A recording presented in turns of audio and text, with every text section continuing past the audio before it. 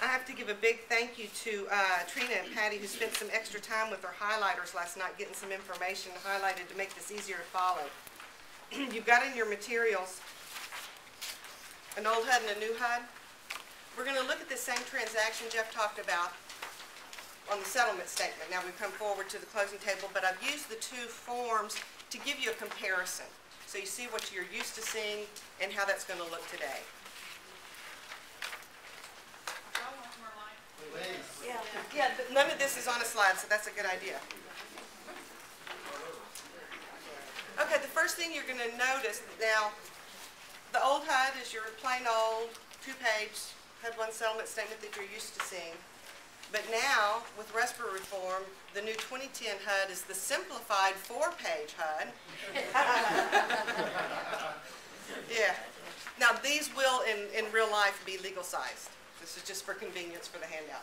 But the first thing you notice on page one is your bottom lines don't change. Your buyer's money coming to the table and your seller's proceeds walking out are the same thing. Where everything is different is how we get there, mostly starting with page two. We'll come back to page one, so don't let that get far away. In our make-believe situation, of course, the seller, uh, per the earnest money contract, is paying for the owner's policy, as they always do in this part of the world. Uh, Also, sellers agreed to pay $1,000 in borrower's closing cost. So on the old HUD, simple page one, it's just like you'd expect it. You're going to see on line 1108, the title insurance policy carried all the way over and on the seller side. You're also going to see on the lower half of the page, a lot of the fees that are normally on the buyer's column just moved over to the sellers till we make up the thousand dollars. Standard practice. Then when you get to the new HUD, your nice color-coded one, you're going to see in the 1100 series, the owner's title policy is in the borrower's column. This is because HUD requires it to be disclosed on the GFE as a cost to the borrower, and anything that discloses a cost to the borrower is shown on the HUD is collected by, from the borrower. You also will notice that this thousand dollars worth of closing cost hasn't been moved over to the seller's side. Because again, those are borrower's fees that the seller is gonna pay later, and everything that's paid later is back up on page one. So even though the contract clearly says that the title policy is the seller's cost, it's still gonna be on the buyer's side and reimbursed? Yes, I know, it makes no sense to us either. Well, this is a national form, right? Right, and that may A be lot of that, A lot of states like buyer places pays the title it's an option that the borrower wants one, he has to buy it. But our contract has either or, it's a check, so. Mm-hmm. That's in Texas, but in a lot of states, the buyer always pays the title Yeah. policy. It does happen.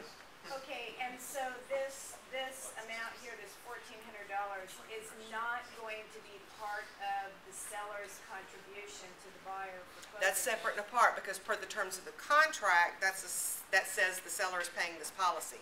Then special provisions or elsewhere, it says the seller is so paying a thousand dollars in closing costs, two different items. Okay? Um, let's look real quick, since we've got the nice color code, let's focus for a minute on the roll-up lines. You just look at the eight hundred series on the new HUD, where you have the, uh, lender's fees in connection with the loan. Line eight oh one has always been what we were talking about earlier, the origination fee, which is almost always a point, it's just kind of always been that way. Now, eight oh one is a total of the lender's charges, and it's shown outside the column, which is in the middle of the page. Eight oh two, someone had asked a question earlier about yield spread, I believe that's where that would be shown. If the lender is paying a yield spread to a broker, then it's gonna be in the total in eight oh one, outside the column, and shown as a credit to the buyer and it will reduce, and then on the roll up line, even though it's down, it's below it. 803 is in that total. that's in the borrower's column. 1%. It might be really like 3% for a cost, but the yield spread makes up the difference, so it averages out. Right. So, you don't line minus 802 803. Right. So now it's called a credit. So you might have like 10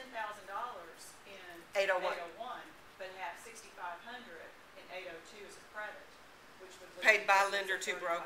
Okay, And that's called a credit to the borrower. okay. Then eight oh three is the net result, rolled up, even though it's down. And then the fees below that in the eight hundred series are separate fees collected by the lender that aren't required by HUD to be rolled up.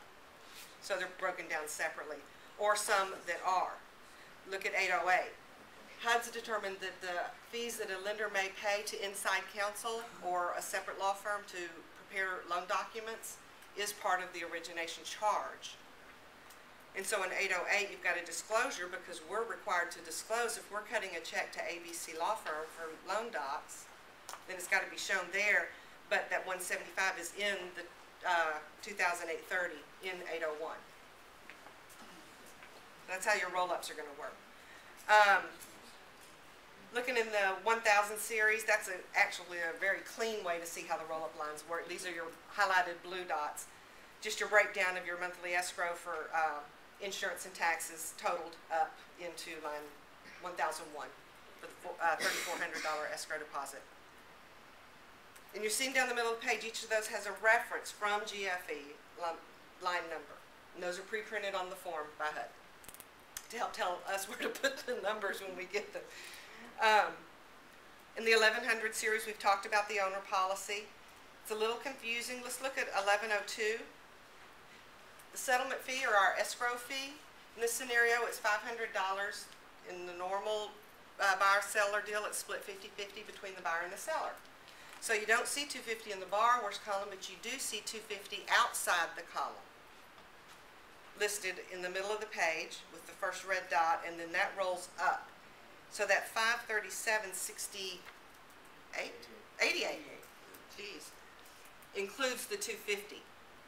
Also, the other numbers inside, outside the column and marked with the red dot are what's rolled up into the 537.88.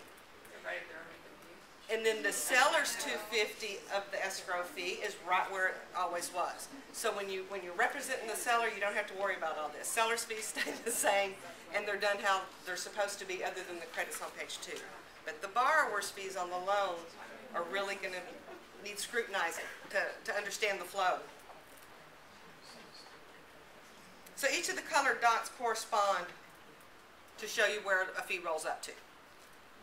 So if we go back then to page one of the new HUD,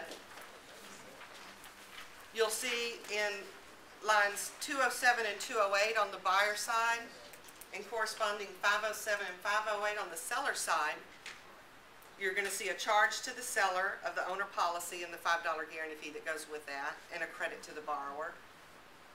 And then on 508, 208, you see the $1,000 closing cost. And again, what's made the new HUD simplified is that means there's a new page four that shows the breakdown of what that thousand dollars is. Some lenders are requiring the breakdown, some aren't.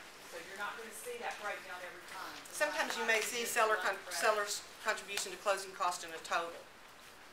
But when it's a breakdown, it will have